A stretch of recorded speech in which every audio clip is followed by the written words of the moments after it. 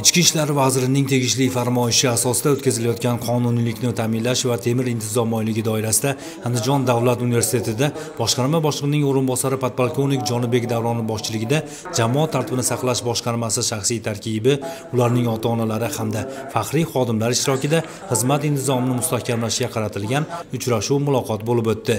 Tadbir avvalida o'zlari qonun himoyachisi bo'la turib korrupsion va boshqa noqonuniy holatlarni sodir etib ota onasi va yaqinlarini el yurt orasida uyatga qo'ygan ayrim nopok xodimlarning achchiq qismatlari aks etgan ta'sirchan videorolik namoyish etildi.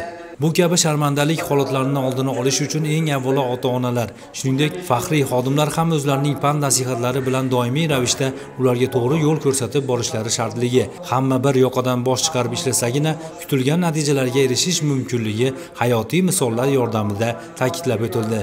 Uchrashuv davomida jamoat tartibini saqlash boshqarmasi shaxsiy tarkibi o'rtasida xizmat intizomi va qonuniylikni ta'minlash borasida olib borilayotgan ishlar holati tanqidiy tahlil qilinib kelgusida amalga oshirilishi lozim bo'lgan aniq vazifalar belgilab olindi. Tadbir so'ngida o'zining namunali intizomi hamda jamoat tartibini saqlash va fuqarolar osoyishtaligini ishonchli ta'minlashda boshqa hamkasblarga alohida o'rnak bo'lib kelayotgan bir guruh xodimlarning ota onalariga boshqarma boshlig'ining tashakkurnomalari tantanali ravishda topshirildi.